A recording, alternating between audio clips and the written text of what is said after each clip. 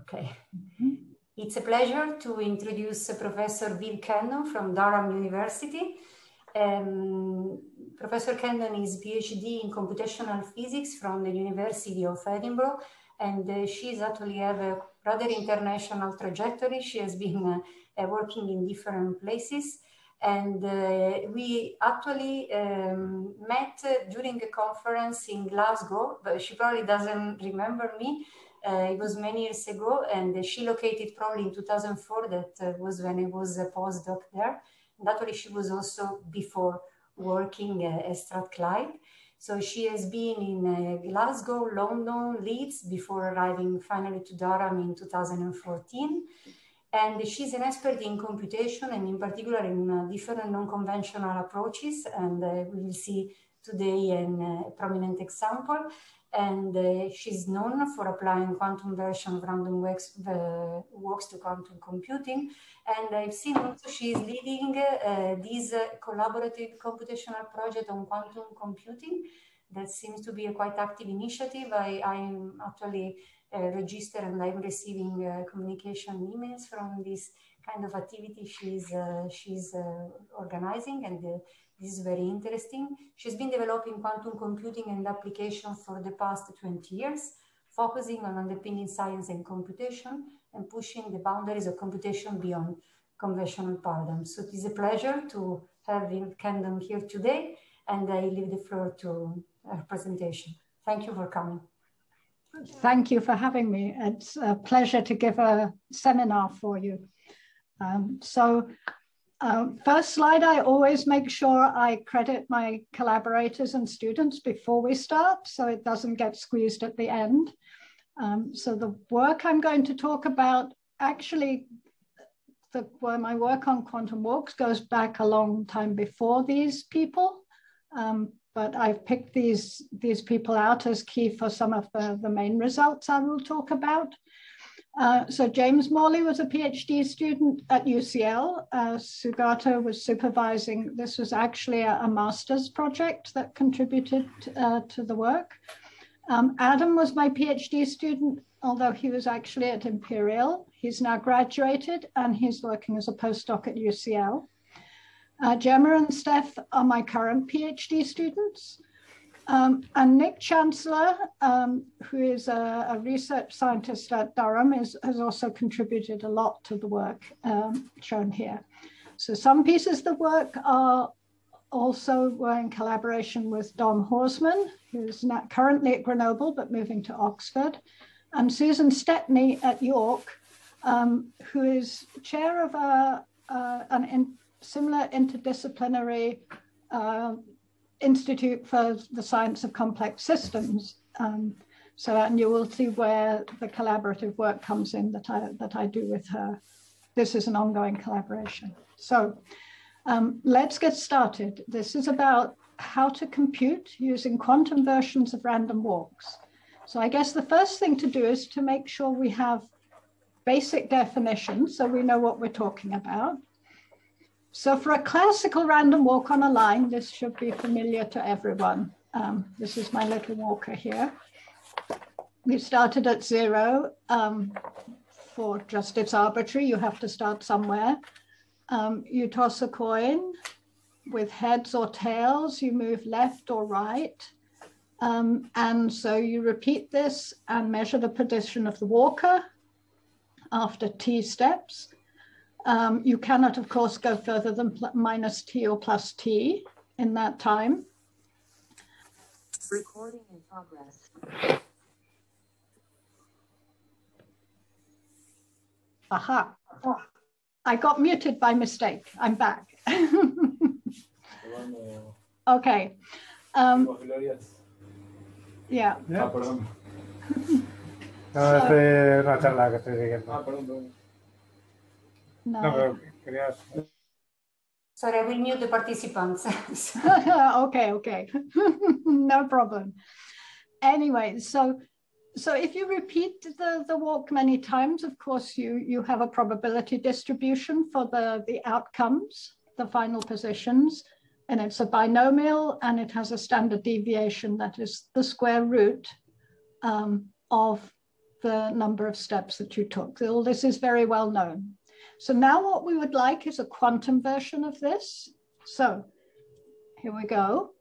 Here is my little walker again. Now a quantum walker, so can be in a superposition of positions on here. So again, we start at the origin, but now we toss a quantum coin. And so in this case, we're going to, to do a Hadamard operation. We rotate, rotate the zero to zero plus one, rotate the one to zero minus one. And you can see if you measure either of these, they have this equal probability of being zero or one, so like heads or tails. So then we move left and right in superposition according to this qubit um, state here. So now we have a walk that is spreading out in position with superposition of different positions. So we carry on with the same recipe. We repeat the steps for t times. We measure the position of the walker. And if you measure, you will find one position out of all the possible ones. You repeat it many times and you get a probability distribution. And here is the comparison. So there's the binomial for the classical walk. And this spiky thing that is a bit like a discrete Airy function is what you get for the probability distribution of the quantum walk. And when you calculate the standard deviation, you find that it's linear compared to the square root you get for classical. It has been analytically solved in about six different ways. Um, and since the interest in these walks started around 2000, there are now many thousands of publications and many different angles that people have taken um, to study these walks. And I could spend a whole course uh, talking about them, but I'm going to try to focus this seminar on some of the work that I have done more recently. And so the first thing to say to do next is to introduce the continuous time version of the quantum walk. So just like classical walks, you can have a one that is um, moving in continuous time, not in discrete steps. Um, so this one was um, introduced thing, thinking computationally, again, a little before 2000, actually before the, the, the coined version. Um, so we take a, a graph with an adjacency matrix, um, where of course the, the entries are one if there's an edge between the sites j and k. And then it's an undirected graph, the matrix, the adjacency matrix is symmetric, so you can make a Hamiltonian from this. You have a hopping rate um, time the times the entries in the matrix. Gamma is the transition rate, the probability of moving to a connected site per unit time. And then you simply do that the walk is following the Schrodinger equation. We just use the Hamiltonian, so we evolve it of the initial position as e to the minus iht. Um, I'm taking units where h bar is one to keep the notation simple. And then of course you just measure at time t to see what your walk looks like. Um, and it looks, um, it looks very like this one. I haven't put the slide in with the plot, but it essentially gives you a similar kind of pattern. Um, and you was, as you would expect, there is a way to take the limit of the discrete time walk and make it turn into the continuous time walk. If you do the limit in the right way, here's the reference from 2006, you get two copies of the continuous time walk because of course you've got a, a coin here. You've got an extra degree of freedom. So the Hilbert space is twice the size. There's no coin in the continuous time one. There's another way to take the limit with a lazy quantum walk and um, in this paper here. So that's the quantum walks I want to talk about, the basic definitions. Um, so here's an overview then of my talk. So first I want to talk a little bit about modeling versus simulation. Um, and then I want to talk a little bit about what we mean by computation. So I'm going to go on an excursion and come back to the quantum walks about halfway through the talk because using them to compute is quite a specific thing to do and um, you don't want to get muddled up with using them for other things. And there are many other things you can use a, a quantum walk for to model physical processes, to um, um, and just to study the mathematical physics of them, um, to study them on, on different graphs or structures or whatever. Um, and I'm going to focus in then onto quite specifically using them to get a computational advantage, um, applying them to problems like spin glasses, for example. And then at the end, I will put it in context of universal quantum computing using quantum walks and a little bit of a summary. So hold those simple definitions of quantum walks in your mind and let's dive into thinking about computation more generally. Um, so first of all, and this should be at some level obvious, but worth reminding ourselves of, when we simulate, when we compute something with a computer, we only compute the mathematical models. We don't co compute physical systems. that's a sort of category error. Um, so this is a little diagram thinking how experiments, analytical calculations, and numerical simulation are all to do with understanding the mathematical models we make of, in the case of physics, a physical system. We can compare them and revise our model. So what we do when we're doing computational physics is we're testing models in cases where we can't easily do analytical tests because the maths is too hard. Um, and again, at some level, this should be obvious. There's a difference between a physical system and an algorithm. Um, so here's a little um, table where we've got physical systems doing quantum walks or classical walks. Um, so we can have a, an atom trapped in an optical lattice and make it do a quantum walk. Um, there are board games that are certainly some kind of random walk. You throw a dice and then move according to the random number that it tells you. And then if you'd want to take a computer doing using a quantum walk, this is an algorithm which I won't have time to talk about, um, but I will give a reference on one of the next slides. Um, and a classical random walk put to good use, for example, lattice QCD calculations. So for particle physics, essentially um, it's Monte Carlo simulations to do random sampling.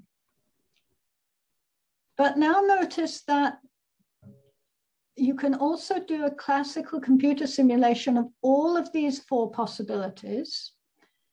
Um, for example, here, um, of course, you can do simulations of particles in optical lattices.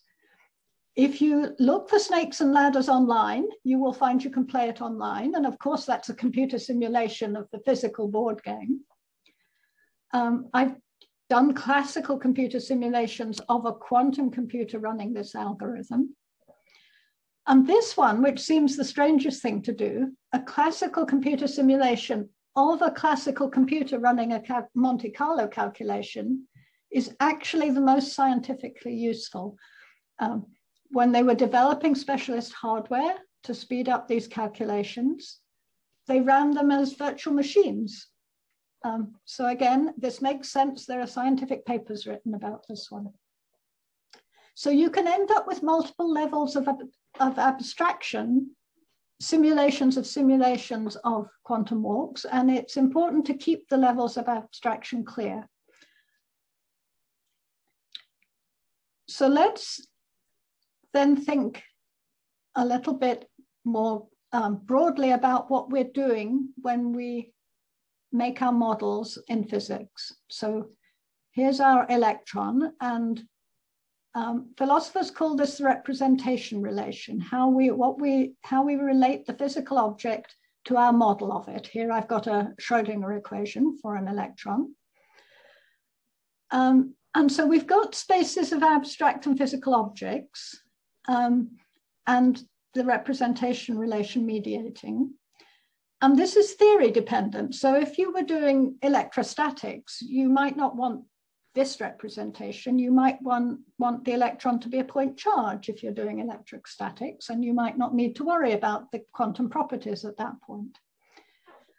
And so we can then draw, extend these diagrams and look at how we do science. Um, so here we have our physical system doing its thing. And then up here we have our model of it, um, and be evolving under the model. So we get a prediction for what the state should be after time. And we can also take what we actually get in the experiment and you see the prime is in a different place here. So what we want, if we've got a good physical theory for what our experiment, what our physical, what our, the world is doing, is we want these to be pretty close. Not necessarily identical, because we might know that we can't measure perfectly, and we might know our theory is approximate. Um, but at some level, what we mean by a good theory is it makes good predictions for what we actually find when we go and look. So that's a diagram for science. Um, then we can make a diagram for technology. So once we have a good model, we can then specify what we want and engineer it so that we have a finished product that has the properties that we designed. And one of the things that we make, among many, are ah. computers. So, um, so what we're doing when we compute, we've already engineered our computer here. There's some background noise. Is this? Um,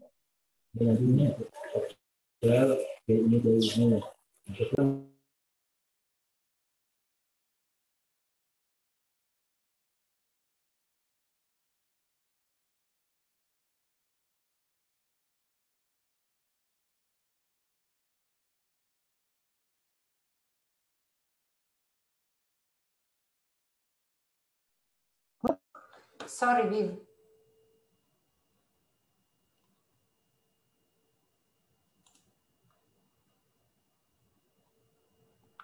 There we go. I'm now properly unmuted, I think. good, good, good. Normally, I do not share the sessions. And uh, when I try, when there is some noise, I have to mute people. But when I try to mute people, the, it just move out. And I, and I sorry, the second yeah, time. don't worry, don't worry. Anyway, so this is our picture in these, these nice diagrams of what it is to, to use a computer. Um, so we have our abstract problem. It's not related to the physical system that's the computer now. We have to do an encoding to map it into the, the way the computer works. Um, and then we run it and we, because we engineered it and we understand how it works very well, we have that the, the outcome is um, what it should be. And then we can decode, and from that, with high confidence, we have something that is the solution to our problem. Um, so that lets us think about requirements for, for computing. It's a high level process. Um, there are always outputs. If there was no output, we could replace it with a brick that did nothing. And there's a representational entity that owns the computation. So everything I put here that said abstract, I'm not being a sort of Descartes dualist here. The abstract is instantiated in the representational entity. That doesn't need to be a human. Um, other creatures compute. Um, and we have a nice paper talking about bacteria computing here. Um, and there's and we also have some work talking more about how to model the representational entity and and and fit it into the picture. Um, so that's that's the the sort of diagram for computing. So if you hold on to that here's a flattened version of it where there's the input our problem. We have that encoding step Now we're going to encode it in a quantum state. And then we need some quantum evolution. So it'll be unitary, could be open system, but that's um, equivalent for our purposes here. We don't need to worry about the difference. We get an output state, we decode, we get our result. Now, so then everything about building a quantum computer depends on what we're going to do with this evolution here. It could be a gate sequence. So that's the standard way of, of talking about quantum computing. But we could also engineer a Hamiltonian such that the output state is the exponential of the time integral of the Hamiltonian. So this is just the formal solution of Schrodinger's equation.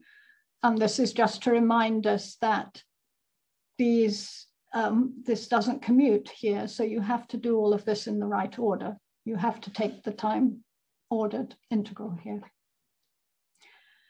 So actually this model here covers most of quantum information processing, including communications, where what your aim is that your result is equal to your input. You've managed to get your message through your quantum network and get out the other end the message that you send. And this also gives us one other property of information processing.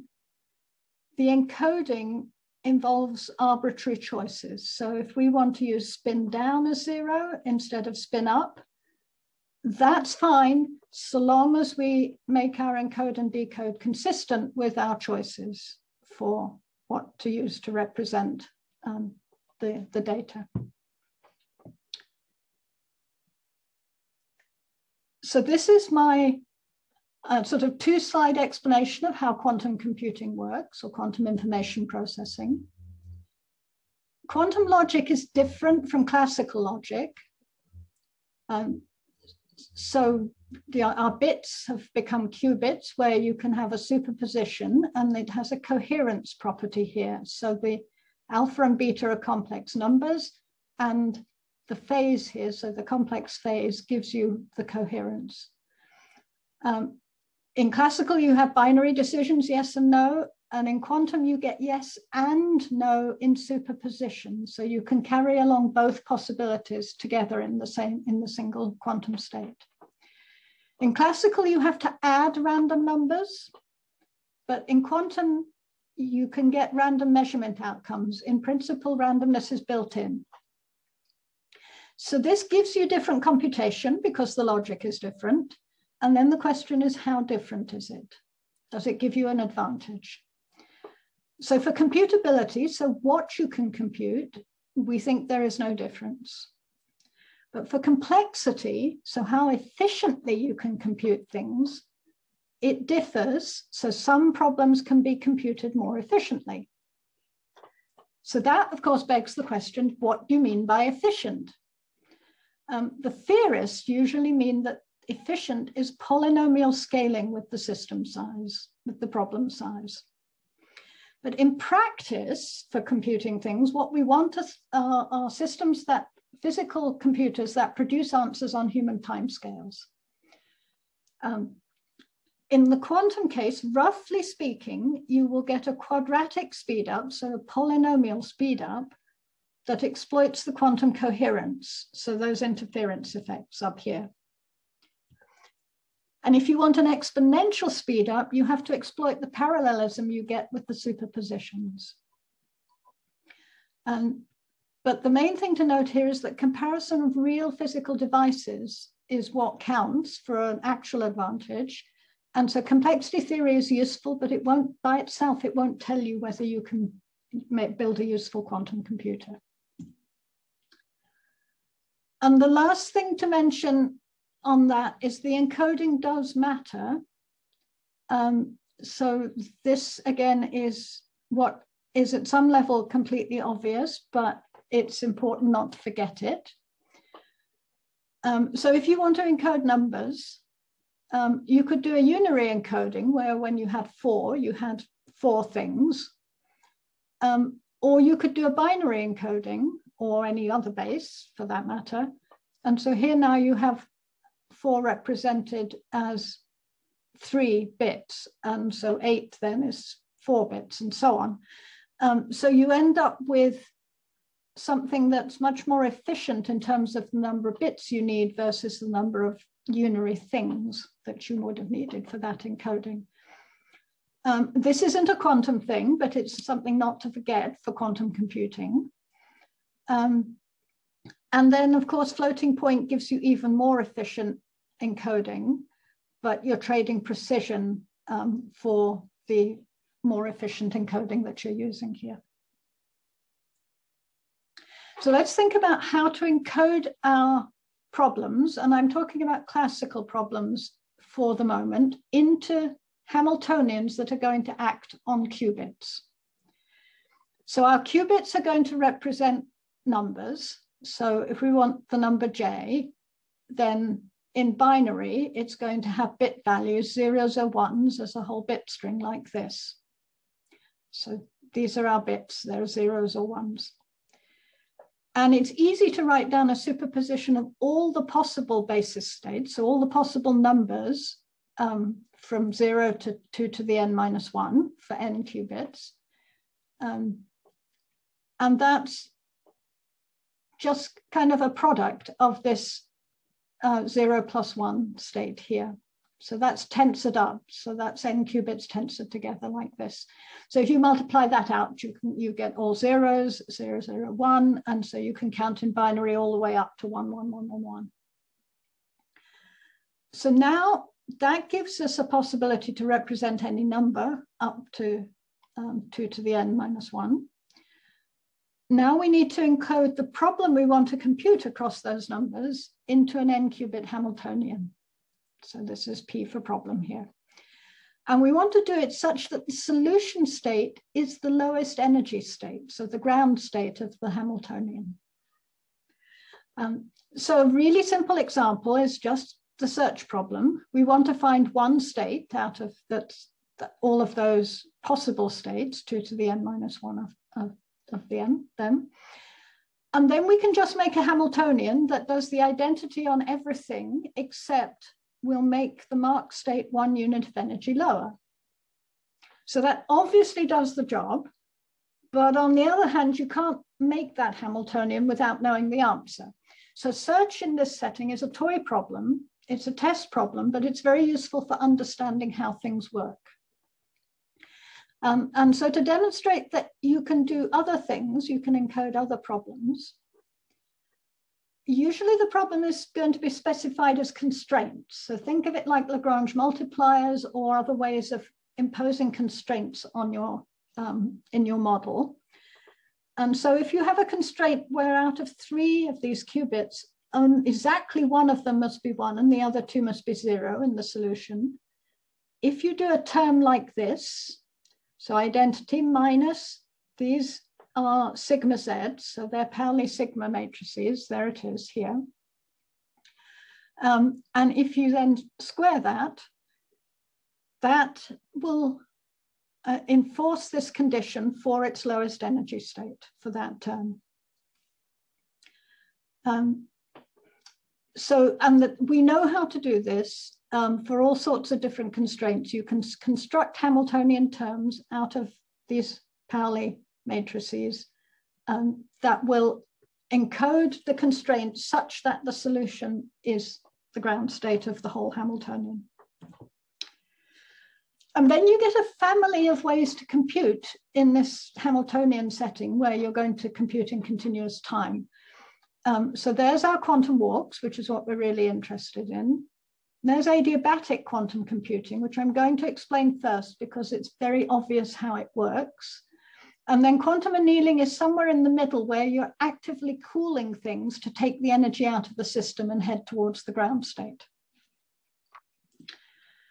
Um, so adiabatic quantum computing, it exploits the adiabatic theorem of um, in physics so we take our Hamiltonian, we initialize the qubits in the ground state of a simpler Hamiltonian that's easy to prepare.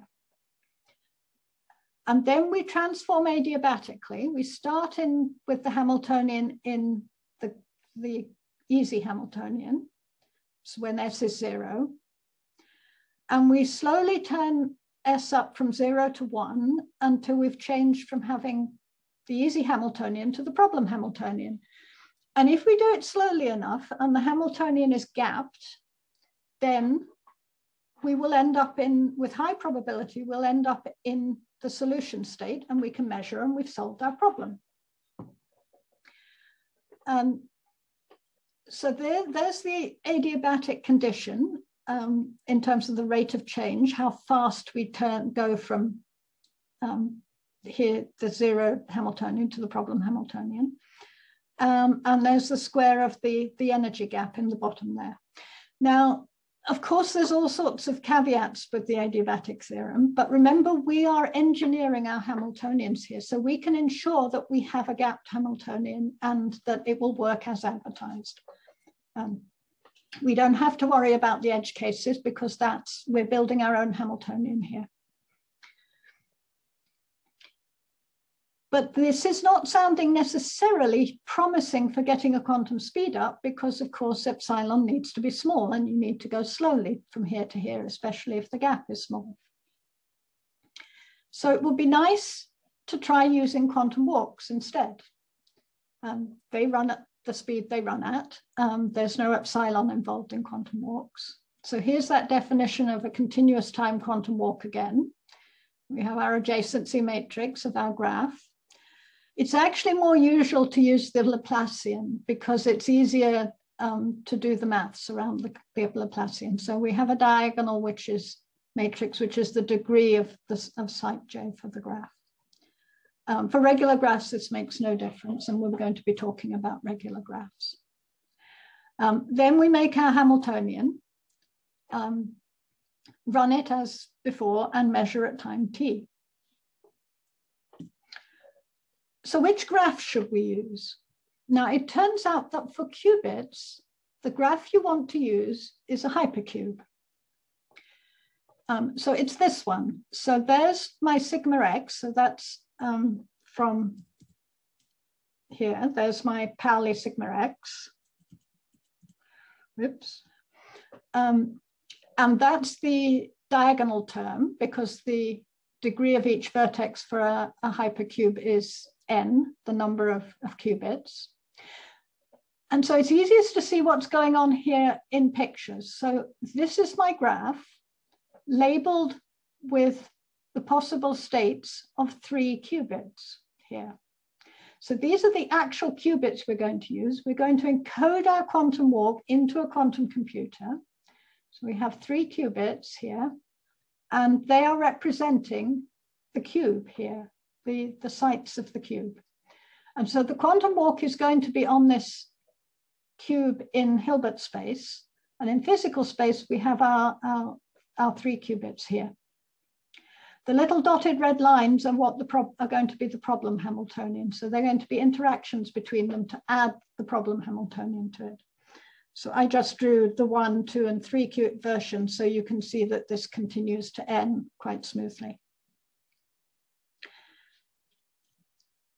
So here's how you do search in this setting. Um, so there's our problem Hamiltonian. Um, and the easy Hamiltonian is going to be that hypercube Hamiltonian. Um, it's easy to, um, to, to, prepare the ground state. It's just that equal superposition state over all of the, um, the, the cube the possible states of the qubits. And that makes sense because to start with, we don't know what the marked state is, so we want to make all the states equally probable. Then we apply our time evolution, and after a suitable time TF, um, which is proportional to the square root of the, um, the number of possible states, um, that will give us a quadratic speed up. This is just an aside for how you're, you can um, actually create this Hamiltonian. It's non-trivial, but you can do it. So that means you can use the search problem to test real quantum hardware. Um, but that's outside the, I don't have time to talk about the details of that. Sorry, Viv, one question. Okay, yes. In the previous slide. So in the previous, uh, you were showing, so in, typically you have, uh, can you go to the previous slide, please? Sure, sure. This one, there you go. No, no, not the following, okay. The one in the middle, you jump to. This one, yes. Okay. So you you were showing before uh, one case in which you are doing a search problem and then you write the Hamiltonian in this way in which you have the M ket, ket bra states and this is the state that is actually your target. When you do now the new um, setup in which you consider this hypercube Hamiltonian, um, I do not see uh, which is a relation. So is this like saying that the state that you are searching is the superposition of all states? Is just like an arbitrary, is able to search only that state? I do not see the connection between the two points because M in the first uh, description you did for the searching problem, it, it was known, but at least it was arbitrary. While here, this hypercube Hamiltonian seems to be something defined in terms of this superposition. So maybe I missed something. Can you comment on this? Okay, so M is a bit string. Um, so let me go back to um, here. So just like J, M is a bit string. So it's one, but it's a particular bit string. Um, and out, out of all the possible ones. Um, so I'm, and so when, does it help so in this case, it could be any one of these bit strings that, that label the, the sides, but only one of them, yeah? Mm-hmm. Um, so, and as I said when I first introduced it, obviously you need to know what M is to set up this Hamiltonian. So you can't set it up for an unknown M. Um, so it's a toy problem in that sense. Yes. Right. Um, I will show you a real problem where you don't need to know the answer to set it up as the next thing I, I talk about. So this is very much, search in this setting is very much something that is studied as a toy problem. It's not a, a computation you could really get, um, you really implement.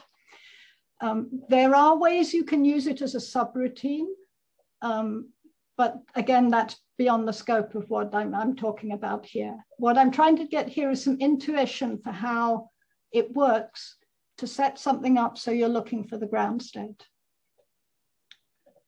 Does that help? Yes, the, the other thing is that I didn't see how now when you, in the previous, in the adiabatic process you were mentioning, I can start from an Hamiltonian, which I uh, go, uh, if I have the, the ground state and this gap, then I move and I arrive to the fundamental state of the more complicated situation. But here actually uh, the superposition is not the ground state. It's just an it's, just it's the ground state of this Hamiltonian alone, this piece alone. Ah, it is. The, the, this superposition is this ground state. Okay. That's yeah, it. so it's the ground state of, of this Hamiltonian. Ah, okay, because you have all the, yes. Okay. Yeah, the minus signs there are important. Otherwise, you have different signs. But, but yeah, it's the ground state of this Hamiltonian. And what I've done here with my A and B is I've allowed it to be general so I can be a walk or adiabatic. Because on the next slide, I have pictures, which may help. Okay, thank you. Okay, so on this slide, I have pictures where there's the adiabatic, where it goes steadily up in probability. This is the probability of ending up in the mark state. Um, on this oscillating one is what the quantum walk does. So you need to measure at more something like a time when it's it's reasonably high. And then you can do something that's hybrid between the two, like this. Um, so they're very much related. It's how you do the time varying or not um, between the quantum walk Hamiltonian and the problem Hamiltonian. Um, but obviously you need to know to do this, you either need a function for S of t. So in this picture, the function I'm using is these um, curves here, or you need gamma, um, and this is essentially gamma because we just turn it on and run it if it's the quantum walk. Um, so this is how to solve analytically the search problem. In continuous time, they, you can search, you can solve the search algorithm in many different graph settings because in the large n limit, they all reduce to a two-dimensional subspace, the two lowest energy levels, the ground state and the first excited state. Um, and that, of course, is equivalent to one qubit, and you can solve that analytically. Um, and it looks something um, like this for the adiabatic case. Um, here's our Z here. Um, and remember, this is mapped now. So my ground state is zero and my first excited state is one. And so we're going from this Hamiltonian, uh, where this is very negligible, to this one. Um, so you solve the eigensystem, you get the energy gap, and then remember that condition, adiabatic condition. If you set that up to insist that that is maintained to epsilon, you end up with a differential equation for how you vary S of t. Um, and it comes, you comes out um, looking like this. And in the limit of very small gap, which is equivalent to very large n, um, you end up with this function, which is essentially a cotangent and that is more or less what I plotted here is there's, there's the cotangent function going on here. Um, so that's, um, get, that now gives us the adiabatic, the, the S of t. For gamma, it that occurs when S is a half. Um, so it sets gamma as a half and it reduces to Rabi flops where you just have the, the, the sigma x just rotating your qubit from zero to one and so on. And then you can set up a hybrid one um, that looks complicated, but I'm just interpolating between here and here. So you can see this is a little bit flatter. And so you can prove that any, therefore, that any of the um, hybrid between quantum walk and adiabatic will give you the quantum speed up. So that's nice, but I will need to speed up a little if we're going to finish this talk and not run way over. Um, so let's jump. What we'd really like to, to see is that we can solve a more realistic problem with quantum walks. Um, in fact, it's been known that quantum walks can solve the search problem for a long time, but nobody tried to get them to solve anything else. So we tried. Um, and we picked Sherrington Kirkpatrick spin glasses. Um, they're frustrated spin systems. Um, it's NP hard to find the ground state if you set it up with the right parameters. So we expect a polynomial speed up here. We don't expect an exponential speed up. Um, and these have been studied before um, for adiabatic quantum computing, which can find ground states faster than getting. Um, and then we chose them because they're more like realistic hard optimization problems while still being a well understood, uh, analytically well understood problem. So this is their definition. So here's my sigma z's. So actually it's a classical spin problem we're solving here. So um, you can think of these as classical spin operators, and then you just quantize it by making these operators sigma z operators. Um, so we have coupling between pairs, these um, JK terms, and we have fields applied to individual spins. And they are all drawn from a Gaussian distribution with mean zero, that to make the problem hardest. Um, the same Gaussian distribution in this case for all of them. And what we, as I say, what we want to ask is whether continuous time quantum walks can solve this problem rather than just the search problem. So we've just put this Hamiltonian in here and we've kept the same Hamil, um, hypercube Hamiltonian in here. And we're going to compare it with a random energy model where you just, you take the same system of spins, but now you define it the eigenenergies are now randomly drawn from a Gaussian distribution. This was defined in this paper here, deliberately to be hard, if not impossible, to do with um, adiabatic quantum computing. So the first thing we need to know is what our hopping rate needs to be. Um, so we investigated this numerically. Um, so the relative weight of the, the Hamiltonian components here, the, the hypercube and the, the spin glass Hamiltonian. And what we find what we're calculating here, I'll define on the next slide. Um, it's easy to calculate from the spectrum. So if you diagonalize this full matrix, you can then calculate this easily for different gammas. And what we find is that we've got nice broad peaks here for the probability of finding the, the ground state. Um, but if you compare that with the random energy model, they have very that has very narrow peaks and the peaks are not always in the same place. So see, this is just from zero to one. So it's this little range here compared to these broad peaks, which are across several units. So that's good because it means we don't have to be very accurate with choosing our hopping rate. We can do something heuristic and it should work. So now we need to know how long to run for.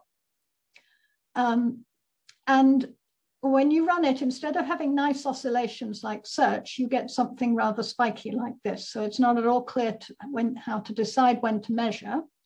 So what we do is we randomly sample. Um, and that lets us, we measure random times, fairly short times, and that lets us sample from the time average probability distribution. And if I plot that, it looks like this. So you can see it converges quite quickly. And we find numerically that it really does can only give us a log n factor here. So it seems to be n to the three quarters. This is probably related to the critical exponents of the spin glass, but um, we haven't been able to pin that down. Um, so what we're going to do is sample in a time window delta t that's proportional to little n, so it's efficient to do this. Um, after running for a short time just to settle down, get the, the average to settle. And if we do this, here's some results. So what we're looking at on here, it's a log scale here and the number of qubits up to 20, which is as many as we could simulate. And this would be random guessing, one over n. This would be a quadratic speed up, one over square root of n. And here you can see what we get. We're doing better than guessing, and we're doing better than uh, a quadratic speed up, which the search algorithm would give us. So that's our P infinity. Um, and you can see it's basically almost identical to this short time average here. Um, and this is for a heuristic choice of gamma. So it's not um, the, the this is for the exact gamma, and then this, this one is the heuristic. And they're within errors, they're pretty much the same. And to the minus 0.41, um, not minus 0.5 would be search. So now there's a lot of lines on this plot over here. So that looks great. It looks like we're getting a quantum advantage until you ask what the best classical algorithm is. And that's this green line here. It's a branch and bound algorithm. And we're getting about minus 0.37. So we haven't beaten that. And there's a quantum version of that. This is actually Montanaro's work, um, where he's getting something more like this here. So this is more like 0.28 for the, or 0.27 for the quantized quantum version of this branch and bound algorithm. Now up here, we have something that looks much better. We're down at about minus 0.15. But we, at some level, we cheated to get this. We wanted to know if we put a little bit of quantum annealing in as well as the quantum walk, how good could you get? And then we went, okay, how do we do this without cheating? So I'm going to tell you about that here, but first I'm going to explain why it is that we're what we're doing that lets us beat search. Um, so we did a little experiment with our random energy model and our spin glasses. So this blue line is the blue line from the previous results at, at minus 0.41. And we took our random energy model and we added pairwise correlations into it. We did that with a gray code. Um, I can explain in detail how we did it, but it, it doesn't make the problem hard, but it does make, mean you can do something comparable. And you can see it's got the same kind of scaling as the spin glasses. And then we took the spin glasses and re removed the correlations by taking the eigenvalues and scrambling them so that they are distributed more like the random energy model. And that shoots it up here. So it looks like the random energy model.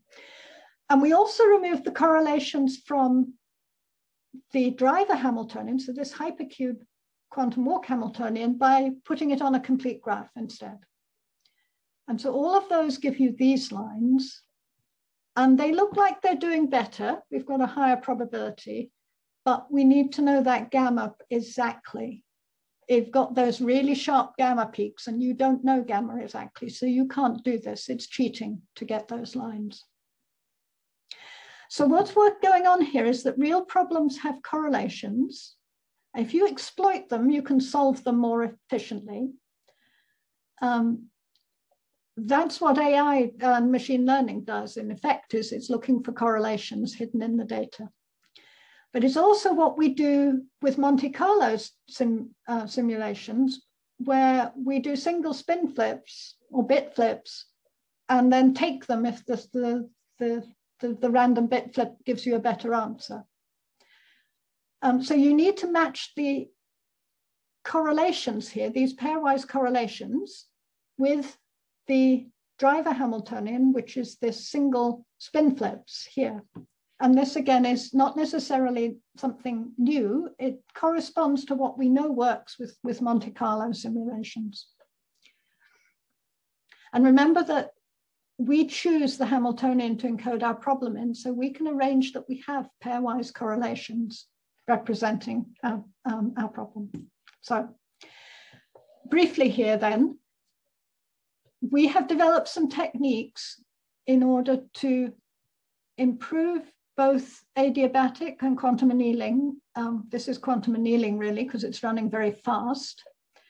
Um, and quantum walks um, by providing ways to choose to do two successive quantum walks, say with different hopping rates, and that can improve how far, how well you find the solution. Um, so this essentially is doing something similar to that calculation for solving the search problem that I showed you with a single qubit, but it's doing it in a local subspace for these more complicated problems.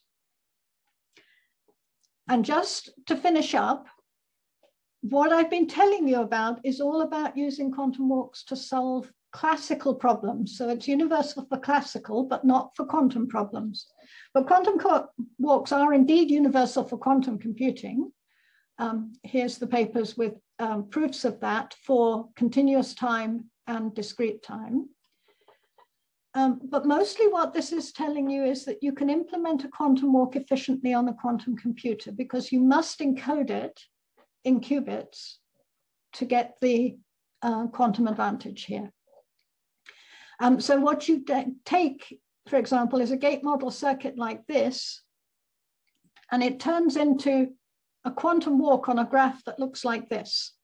So you can see the gates lurking in here um, in the way it's been done. Um, so there's the different gates. But, uh, um, but you wouldn't implement it physically on a graph like this. You do it in qubits.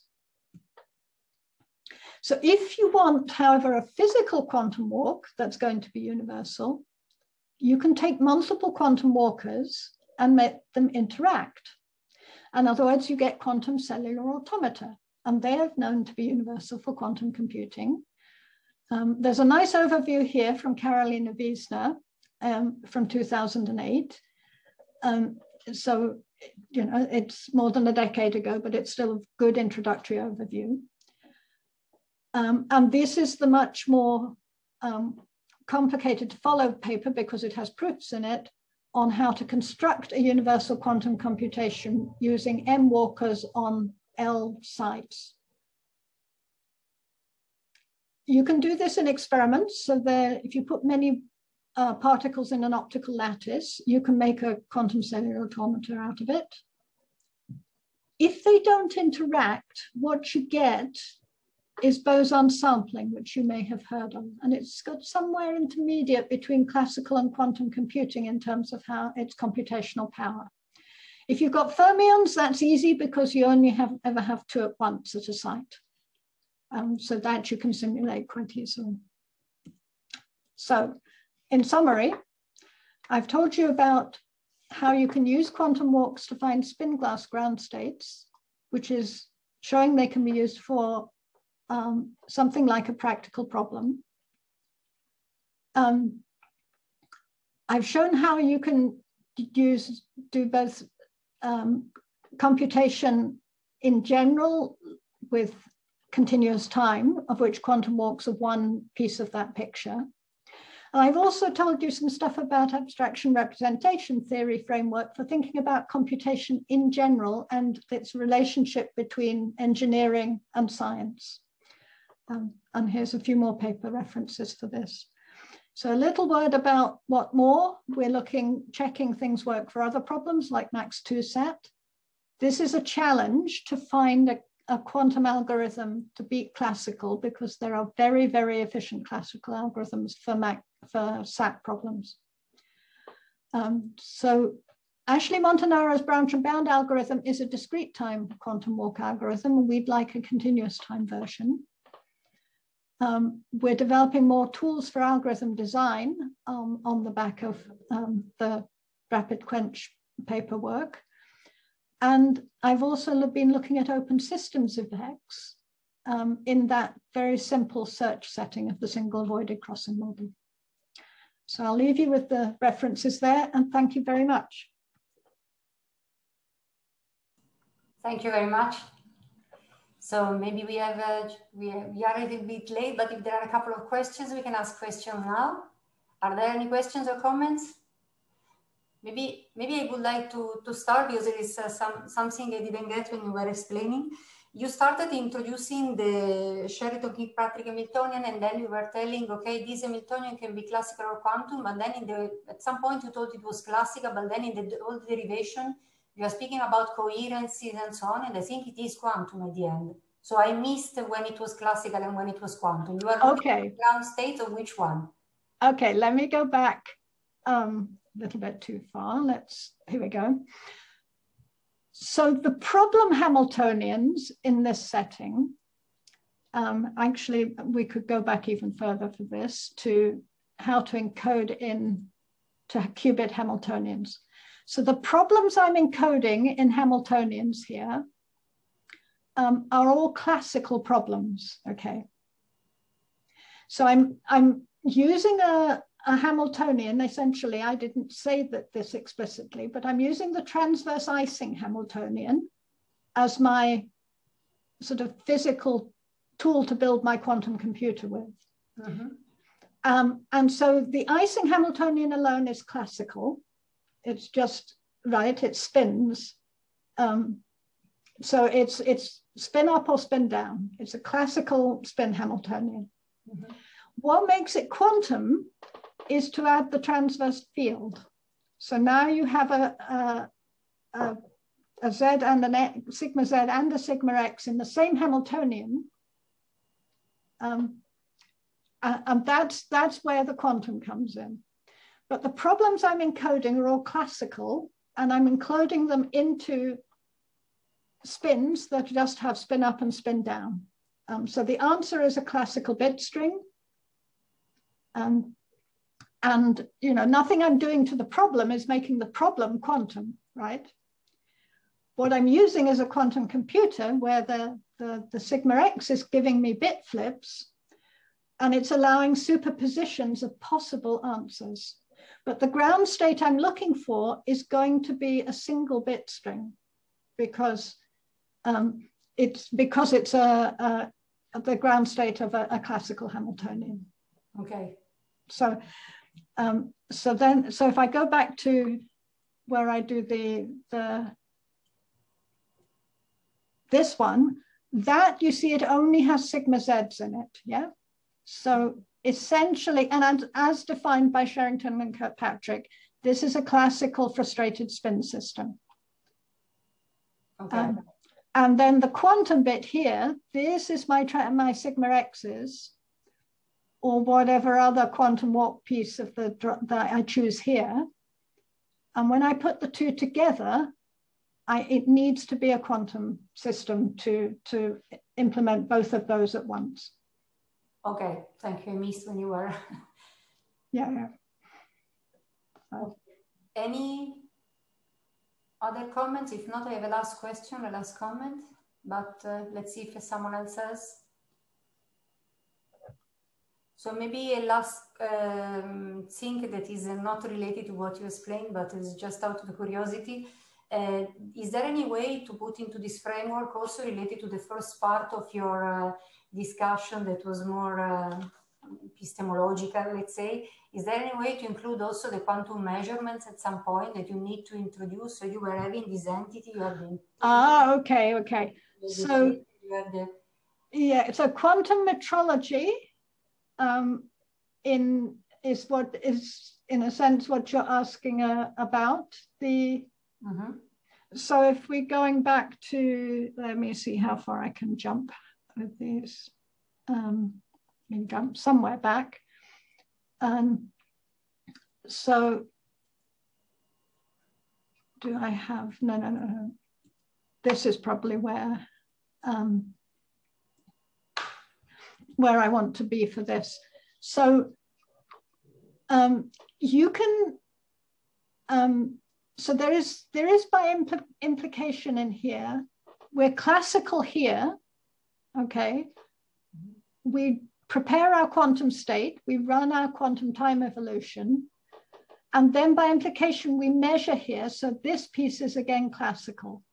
So actually, if you look at most quantum computing algorithms, they have classical beginnings and ends to them, at least. Um, so for quantum, for metrology, to get an advantage out of quantum measurements, you can set it up to look like this um, because you can write it to look very much like beam splitters, a beam splitter network. So I have slides for that, but of course not in this talk. So I can't easily go and pull one up to, to show you that. Um, but what it looks like, so the, the U here then turns into a Hadamard here and a Hadamard here. That's the beam splitters of the, the interferometer. And then in the middle, there's a phase shift, which is the thing that you're trying to use to measure the, the, the quantum metrology to measure and to measure more accurately than you could classically. So you can put it into this framework with a very specific U here for the, the program, if you like, that is, is what the, the metrology looks like. Okay, so you have yeah. everything, computing, metrology, and uh, communications. Yeah, yeah, yeah, yeah. So, okay. but uh, but yeah, so um, so it's it's it's stretching. It as I say, you can put it in that framework, um, and it's useful for some people to see it that way, so they can see where you know the, the quantum operations are producing the the advantage. But you have to analyze. So the input encoding and decoding and result, you have to think of that differently because for quantum measurement, it has to be a physical interferometer, actually. Um, you don't do it in qubits. Okay. Yeah. Okay, Viv, thank you very much for your talk. And uh, we are a little bit late. If there are no further questions, we, we conclude here. So if no questions, okay. Thank you very much and hope to see you here. Ciao. Okay. Thank you. Thank you.